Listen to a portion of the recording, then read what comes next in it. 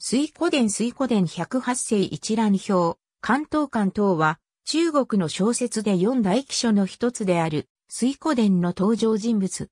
地位性の生まれ変わりで、序列は、梁山泊第42位の交換。あだ名は百姓将で、百戦錬磨の将軍の意味に由来。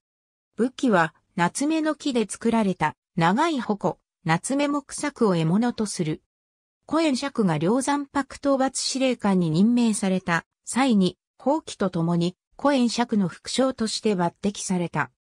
関東は仏教に合格した官軍のエリートであり、陳州の断連士を務めていた。コエン爵が梁山泊討伐の指揮官になった時、コエン爵の推薦を受け討伐軍の副将に加わり、放棄と共に兵を率いて戦う。初戦に放棄は生け取られるものの、連関馬作戦を駆使して戦いを有利に進めるが、両山泊の仲間になったジョネーに針釜、層を使われて敗れ、竜頭、都戦に囚われる。その後、先に仲間入りした放棄としのげぶりの説得を受けて、両山泊まり入りをする。入山後は、馬軍将、表彰権石膏となり、コエン爵の副将として放棄と共に、前線で戦う。